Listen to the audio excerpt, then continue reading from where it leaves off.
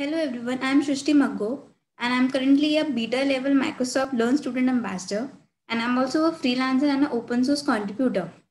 So initially starting with my journey as ambassador, so I have joined this community last four months ago and now I am enjoying its perks and the advantages it provides. So today in this video, I'll be telling you about some of the uh, Microsoft certified exams that you should be familiar with. And this is one of the advantages that Microsoft actually provides to all their student ambassador. So let's get started. Uh, let me share my screen. Yeah. So as you can see, uh, this is a Microsoft Learn path. And uh, one thing here to be noted is this is only accessible to all the ambassadors.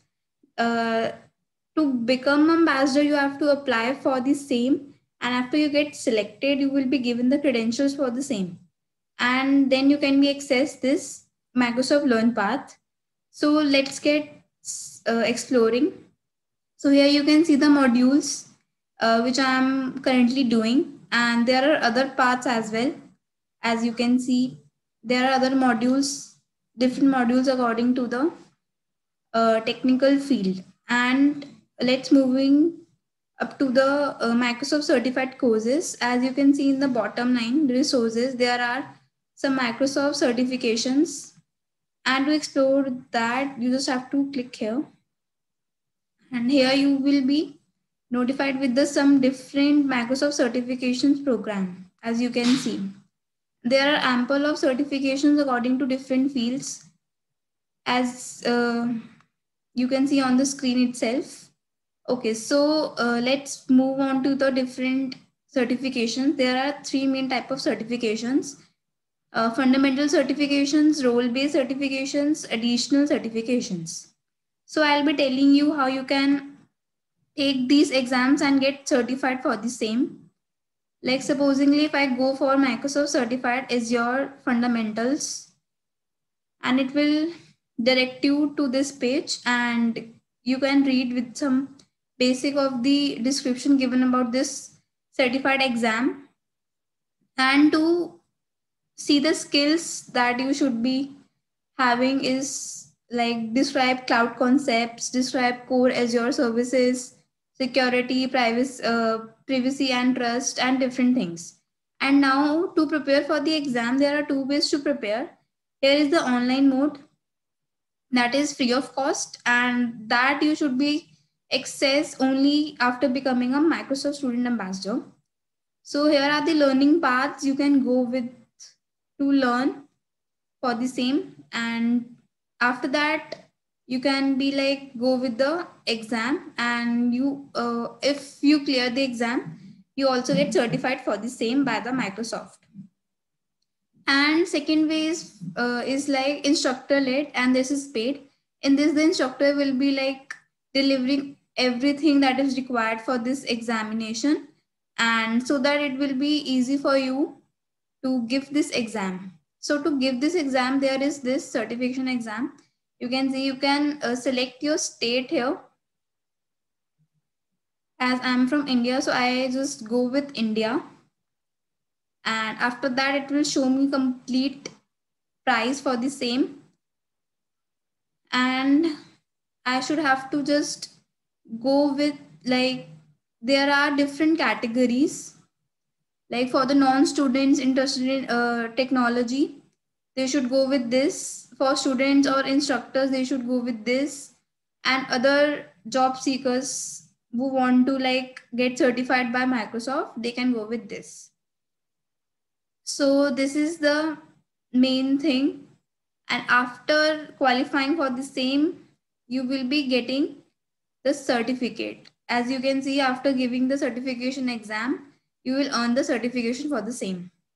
Let's explore, let's explore other certification exams. You can see there are 365 certified fundamentals exams.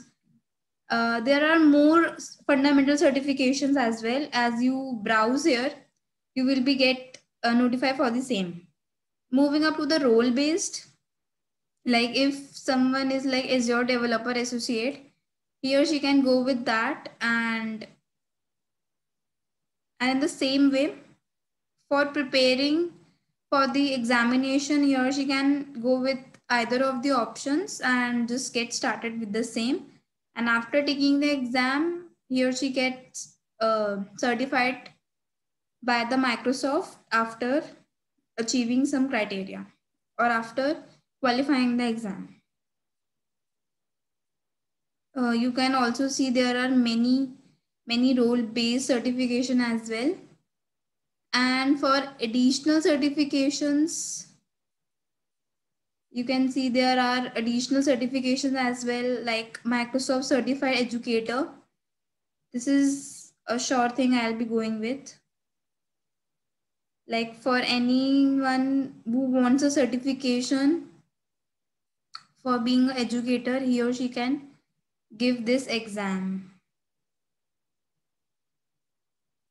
Okay, so for this, there is no path to prepare.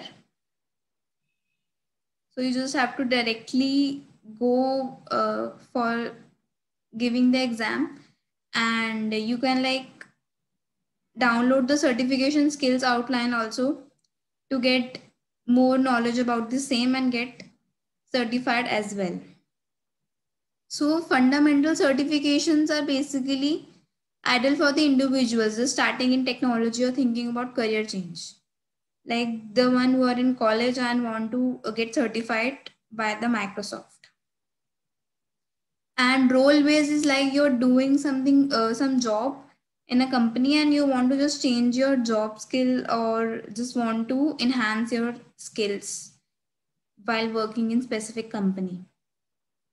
For the additional certifications i say like uh, you want to be a certified educator or officially office technical certifications are also there. If you if i browse for fundamental certifications like you can see different certifications.